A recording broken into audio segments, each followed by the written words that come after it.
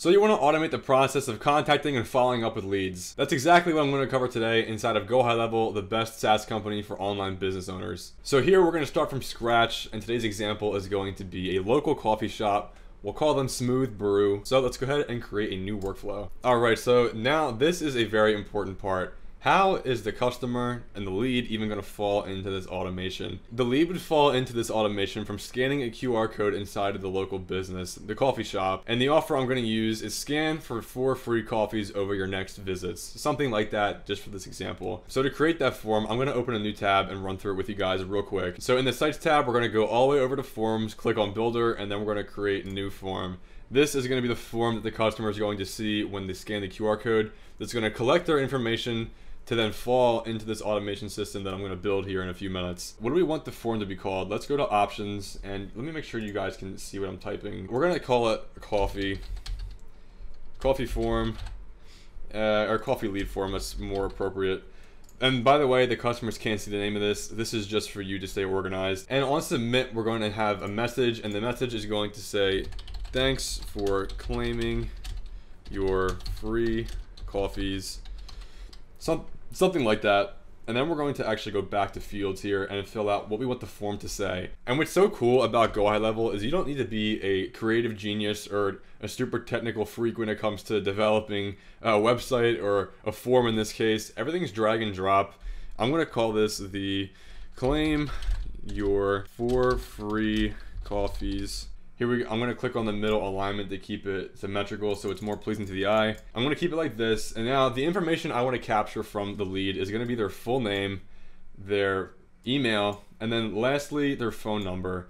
The reason why I put it in this order is because over a few studies, it's been shown that people are more likely to put their phone number in and fill out their phone number after they've already given this information up or already typed it in. If I were to have the phone number second or phone number first, people, for whatever reason, are a little bit more apprehensive to give their phone number away because people really don't care about giving their name away too much, their email away too much because a lot of stuff is spam anyways. But a phone number is a little bit more personal, but it's been shown, like I just said, that when the phone number is the last option to be filled out, people are more likely just to just go ahead and give it away. And also, we want to make sure that the full name is required. So we want to make sure we're capturing their all their information. And then lastly, we want to have a button so they can submit this form and then fall into the automation which we're going to build here. So I'm going to drag and drop a button, click on it, and we're going to say, and to make the button symmetrical and centered, I'm going to click on the form again and then click full width. Now it's a clean form for people to fill out. And let's change the color to, I don't know, let's change it to, you do want to try and match the color of the button though with the branding of the website. So let's go back and let's go pick what we want the workflow trigger to be. It's going to be a form submitted. So we're going to click that, form submitted, and we're, going to click add filters, select form is coffee lead form. So let's click save trigger and we're going to save up here as well. And I'm gonna move my face cam back up here so you guys can see everything. But what we just did, whenever someone goes and submits that form, they're going to fall into this automation now, which I'm gonna build out. So first thing is you're going to assign a user.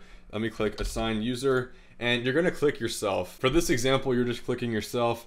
You would be clicking the uh, business owner once they're onboarded onto your Go High Level account or, or their own Go High Level sub account. You'd be picking them because they're the user that you want to assign since it's their business. But for this example, I have to just assign to myself since this is my own account.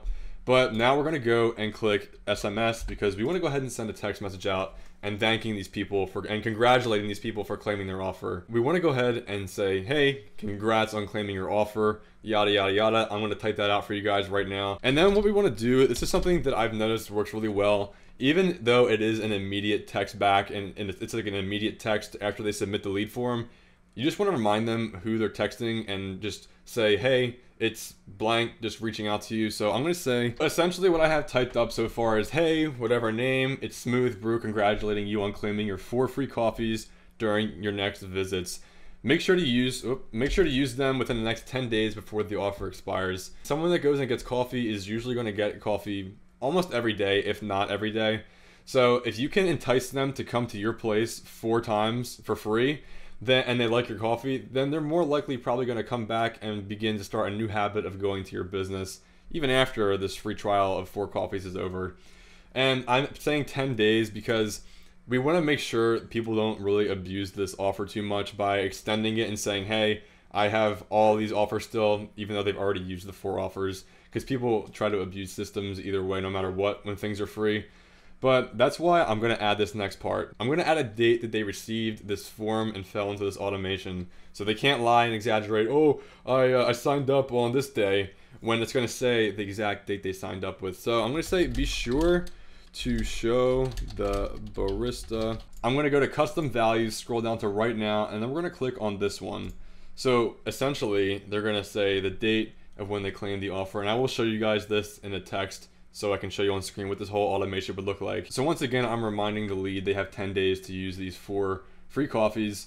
And then I'm gonna go and test it and show you guys what it will look like. Here we go guys, you can see I have the automation text right here. It says, hey Frank, it's Smooth Brew congratulating you on claiming your four free coffees. And at the bottom it says the barista show them you claimed your offer on 1 or January 5th, 2023, which is today and it says you have 10 days to use all four free coffees.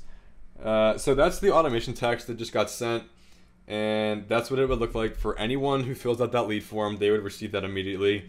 So now what we're gonna do is we're gonna repeat that entire process, but for email. And then from name, we're gonna do the name of the company. We're gonna do Smooth Brew. Uh, or whatever company you know you're working with and then for the from email you're going to put their business email so that's like the recipient email, which is the one that's being sent out from. So then the subject, and then I'm gonna add a coffee emoji just to make it a little bit more fun and playful and just more eye-catching because when someone sees a coffee emoji on their phone they'll know exactly what it is as, to, as opposed to just text. So now we can just go ahead and copy basically the same message we sent but for email and just change the wording a little bit. So this is the email that I would be using. I changed it up a little bit made it a little bit shorter because we want the customer to be directed to look at the text that we sent them. So I said, we also sent you a text with some details. Make sure to show the barista you claimed your offer with a little smiley face because why not? Everyone wants some more positivity in their life. And then we're going to click save. And then I'm going to click save again up here. So that was a super simple automation that you guys can use and build out whatever you want. You guys can literally add so many more things if you really wanted to. But for this example, it's just pretty straightforward. But I'm also going to have another video soon as well, how you guys can create a QR code from scratch link a website to it so you guys can create that QR code and when you guys sign a client and have a client you'll be able to give them the QR code put it on their the cashier desk or whatever. People will be able to scan it and redeem the offer and then fall into this automation. I'm going to keep that separate because otherwise this video will be too long but I'm going to be doing that very shortly. So I hope you guys learned something in this video and I hope you guys start implementing this into your online business because it's pretty straightforward to use and Go High Level once again is the greatest SaaS company for online businesses uh, and they really have everything inside. So, hope to see you guys in the next video. Enjoy the rest of your day. I'll see you next time.